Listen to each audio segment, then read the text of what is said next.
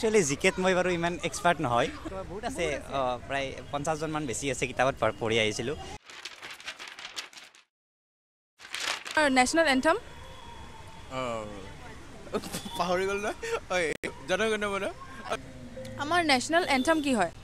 জনগণ মন আহ, কিমান ছেকেণ্ড গায় এইটো? ফিফটি টু ইণ্ডিয়াৰ নেশ্যনেল এন্থম জনগণ মন। জনগণ। আচ্ছা কিমান ছেকেণ্ড গায় সেইটো? কিমান ছেকেণ্ড? নাজানো দিয়ক মানে মোৰ আপোনাৰ দে। নেশ্যনেল এন্থম হয় সেইটো কিমান কিমান ছেকেণ্ড গায়? কিমান ছেকেণ্ড গায়? Fifty two second. অঁ। কিমান বছৰ হ'ল এতিয়ালৈ? ফ্ৰীডম ছেভেণ্টি এইট নেকি? এইটো অলপ অলপ পাহৰিছোঁ এইটো। আমাৰ অসমৰ পাঁচজন কোনোবা ফ্ৰীডম ফাইটাৰৰ নাম জানিবানে তুমি? কনকলতা। আছিলে আৰু মই কনকলতাটোৱে জানো। আৰু ভাবিব লাগিব অকণমান টাইম যিকোনো ন? এখন এজন এখন অ, ইয়া। এটা হ'ল আপোনাৰ মদন বৰ্মন মোৰ পাপাৰ মামা আছিলে। ফাৰ্ষ্ট ক'লোঁ। আৰু বাকী নাজানো ইহঁতে জানে। কনকলতা। আৰু? আৰুতো নাজানো। এই লাচিত বৰফুকন লাচিত বৰফুকন। মহাত্মা গান্ধী জৱাহৰলাল নেহৰু কনকলতা। তাৰপিছত মাদাৰ টেৰেছা আৰু নেতাজী সুভাষ চন্দ্ৰ বসু। পাঁচজনৰ নাম মহাত্মা গান্ধী গোৱাল কোঁৱৰ কনকলতা। এইকেইটা তাইকে সুধা। এক মিনিট ৰ'বা হা। এইটো নাজানিম দিয়ক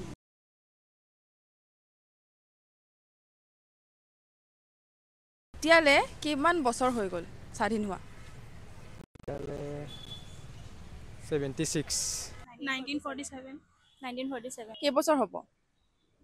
ছেভেণ্টি ছিক্স হ'ব নেকি? Nineteen forty seven nineteen forty seven nineteen forty seven seventy six seventy six seventy six nineteen forty seven ঠিক আছে। এতিয়ালৈ কিমান বছৰ হ'ল? ছেভেণ্টি ছিক্স কিমান বছৰ হ'ল এতিয়ালৈ? ফ্ৰীডম ছেভেণ্টি এইট নেকি? কনকলতা কোন আছিলে? কনকলতা।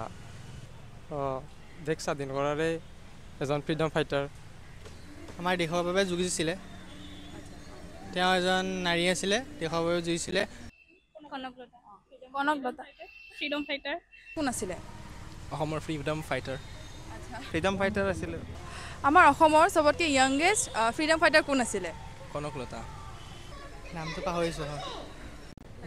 কুশল কোঁৱৰ। কনকলতাই চাগে। কনকলতা আচ্ছা ঠিক আছে। জনগণ মনা কোনে লিখিছিলে? ৰবীন্দ্ৰনাথ টেগৰ। জাতীয় সংগীত কি? অ' মোৰ আপোনাৰ কোনে লিখিছিল? নাজানো। ৰবীন্দ্ৰনাথ টেগৰ নেকি? ৰবীন্দ্ৰনাথ টেগৰ। ঠিক আছে। আৰু আমাৰ জাতীয় সংগীত কি হয়? অ' মোৰ আপোনাৰ দেশ কোনে লিখিছিল? স্কিপ স্কিপ পাহৰি। অসমীয়া ফ্ৰীডম ফাইটাৰ অঁ কনকলতা। তাৰপিছত একচুৱেলি জিকেত মই বাৰু ইমান এক্সপাৰ্ট নহয়। বহুত আছে প্ৰায় পঞ্চাছজনমান বেছি আছে কিতাপত পঢ়ি আহিছিলোঁ। কিন্তু মানে মই এই এই চিটুৱেশ্যনত